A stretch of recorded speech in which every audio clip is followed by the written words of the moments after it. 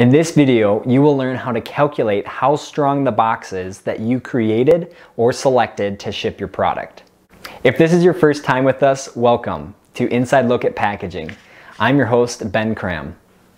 On this channel, we bring you tips, tricks, and industry secrets around packaging, as well as help educate you to feel comfortable and confident with the packaging decisions that you make when you present your products. If you have any questions about packaging or you just want some insight, I highly suggest you hitting the subscribe button as well as turn on notifications so that you won't miss a single video.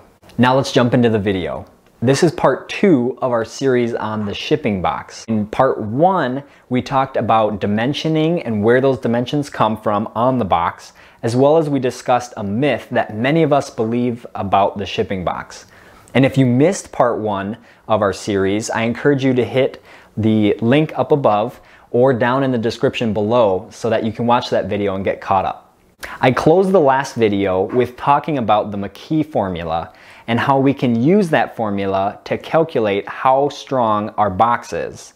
Now, if you recall what the myth was, it was that the product gives the box its strength. Now, that's just not true, and we're gonna see that today by calculating out and doing a problem with the McKee formula. And here we are, the McKee formula. Now I have to add a disclaimer before we get too far into doing this calculation. This formula was published in 1963.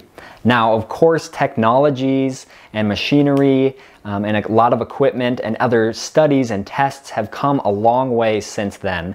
Um, and so this formula gives us kind of an estimate, a good idea um, about strength, but it for sure doesn't give us the accurate exactly what um, our box's strength is. And so I encourage you um, to use this as a starting point and a, a good, a good place to kind of have an idea uh, of how strong your box is. But if you really want to know, um, I encourage you to go to a manufacturer or a testing facility where they have these machines um, and testing protocols um, to really get accurate to specifically what your box's strength is. Looking at the formula, it starts with BCT, and this stands for Box Compression Test. Compression is going to be our main source of strength um, and kind of the thing that we need to focus on with our box strength overall. The compression is what our boxes are made for because lots of times they're going to be stacked on one another and so the weight from the one above is going to be smushing down on the one below and so looking to know how much weight that our box can handle on top of it is what the compression test is going to be. And so that's why we start, and that's what the McKee formula is really looking for, is how many pounds our box can handle if something's sitting on top of it. We're gonna walk right through. So this next number is 5.875. Now this is just a constant and so anytime you do this equation, you're always gonna use that number. Moving along in our formula, after our constant, we see ECT. ECT stands for Edge Crush Test. This number that we're gonna be looking for here is on the bottom. It's most often printed on the bottom of the box. And so if you're creating a box, you just need to know um, what ECT you would like to go with. If you're using an existing box, it'll say on the bottom on the box manufacturer's certificate. And as you can see, oftentimes on the bottom, that box maker's certificate will show the supplier or the manufacturer who made it, where it was made, um, it'll have some other information, but they always have that ECT um, because that's an industry um, wide test that they do to show what grade the board is.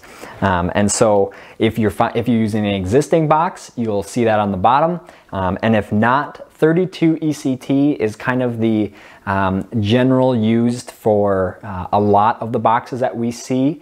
So now that we have our ECT value, which was 32, we're gonna move on to the next thing, which is a little bit more math, but it's not hard, and I'll walk you through how to do it. We have H times Z, and H is just gonna stand for our perimeter. And so if you recall to part one in the series, the, the uh, dimensions where we talked about length and width and depth, the perimeter is just gonna be of the opening. So that's just gonna be our length and our width dimensions. And then Z stands for the thickness of the board um, that we use. And so um, corrugated or cardboard or the shipping box, that material um, is there's different grades and thicknesses. And so, um, and that's all based on the inside, um, kind of the corrugated, um, what's actually called the flute. and that's how we grade uh, how thick the board is gonna be. And we'll talk about that later in the series but we're just going to use what we call C-flute. Again, this is kind of um, industry-wide, used on uh, you know most things. Um, just for most weights, it's going to be pretty strong. Uh, again, that's probably what you're going to see if you use an existing box. Creating a new box, you're going to be probably pretty good with uh, C-flute. And so uh, that value and that thickness is 3 sixteenths of an inch. Now that 3 16ths, if we calculate it out to being a decimal, which is a lot easier to do um, equations like this because we already have decimals in it, um, it's going to be 0.1875. Since we now have some of our values that we're looking for, like our ECT, which is 32, and our Z value, again, which is going to be our 3 16ths, or 0.1875 inches, Let's write it out that way so that it's easier and all we have to find is h, which is the perimeter of our box. Now that we wrote it out and kind of simplified it, now we're only looking for h on this side of the equation to then find our box compression test and our strength. So we, again, we added 32, which is our ECT value, and then we added 0.1875, which is the thickness of our board, which is C-flute. Now, in order to finish the equation and figure out a hypothetical box strength, let's just pick a box that is gonna be 10 inches in length and 10 inches in width. Now, as I mentioned before, the perimeter that we're looking for that we need to use in our equation is just the opening of the box. And so again, part one, we have our length, which is the longest side from the opening. Then we have our width, which is then the shortest side from the opening. So in this case, if our box is 10 inches in length and 10 inches in width, I understand this is not a square, so I apologize. But if we're looking for perimeter, that's all four sides. And so in the equation, it's easiest to write it out this way. And the easy way to write out our perimeter is gonna be two times the length plus the width. So if we recall the box, we're gonna have two length dimensions and two width dimensions. So if we just add the length and the width and multiply that by two, we get that perimeter. Now to use this perimeter then with our box that we created, our 10 by 10 box, our 10 length, 10 width, we're gonna have 10 in our length spot, 10 in our width spot, and of course, some easy math, 10 plus 10 20, yes. Okay, now so we have 20 inside the parentheses times 2, it's going to be 40. Okay, so now we know what our perimeter is, which is 40. Okay, so now we know our perimeter is 40. Now let's put that back under the square root and we can calculate out the whole equation. Okay, so now calculating it out, we go first underneath the square root and figure out what that is. So 40 times 0.1875, we get 7.5. Now we take the square root of that. And so if you're doing this on a calculator, uh, obviously it makes it easy. Just hit your square root uh, button and then punch in 7.5. And that is gonna give us 2.739. I'm rounding to the third decimal place. And so now we can write out the whole equation with just the numbers. So we start again with our constant, which is 5.875 times 32, which is our ECT, times the 2.739. And we punch all those in and we get the final value of 514.86. Now this number is how much weight our box, which was 10 by 10, C-flute, 32 ECT can handle from on the top of it. So as you can see, that's a pretty big number and when it comes to pounds. So this again, if it's a, on a pallet or on something where maybe it's on the delivery truck and something's gonna be stacked on top of it, our box can withstand 514 pounds. And for me in my applications, that is plenty. Now the weight that our box can handle is quite large, but I also just wanted to let you know that this is gonna be a static pressure, static weight.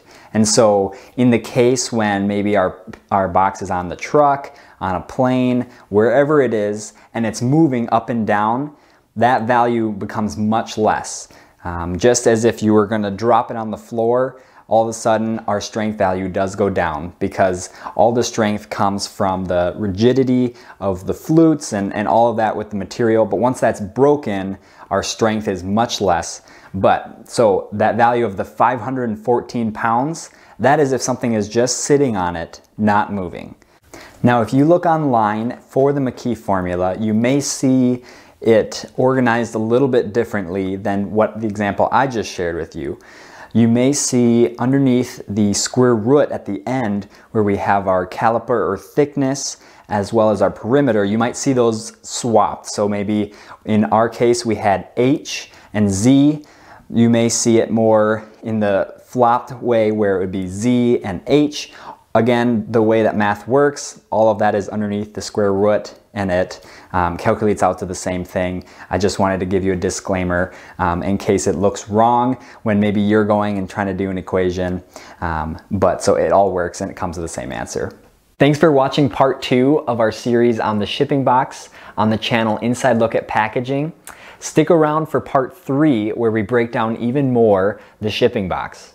If you found any value in that video, I encourage you to hit the like button as well as subscribe as we will be sharing a lot more videos um, that hopefully really help you in your packaging journey.